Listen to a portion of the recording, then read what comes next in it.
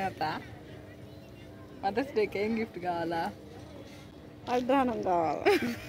అరే రే రే పెద్ద సమస్య వచ్చి పడిందే. ఇప్పుడు ఏం చేద్దాం? ఒక నిమిషం. అడ్డానం కావాలా?